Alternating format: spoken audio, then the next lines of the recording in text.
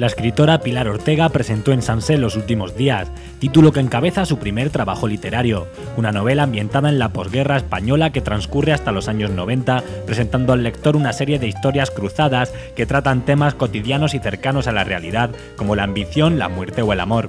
Yo lo definiría como una novela costumbrista eh, con denuncia social y con una carga bastante importante del realismo mágico de la literatura hispanoamericana, ¿no?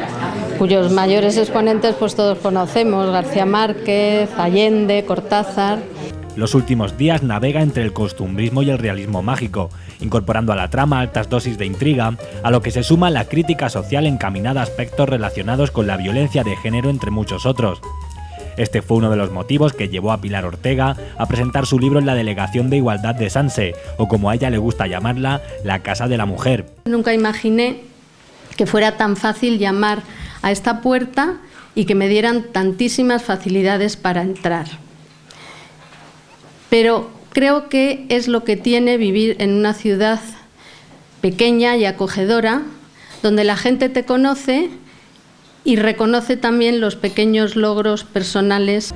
Cuatro años ha sido el periodo de gestación hasta el nacimiento de los últimos días, tiempo que su autor ha empleado en escribir y corregir su texto, dando forma a unos personajes con una marcada vertiente teatral, otorgando gran importancia a los diálogos, de los que se desprende la experiencia vivida por esta profesora de literatura, entre bambalinas como actriz amateur. En cuanto uno empieza a leer el libro se da cuenta que hay mucho diálogo, hay mucho diálogo, entonces eso dinamiza todavía más la lectura también, ¿no?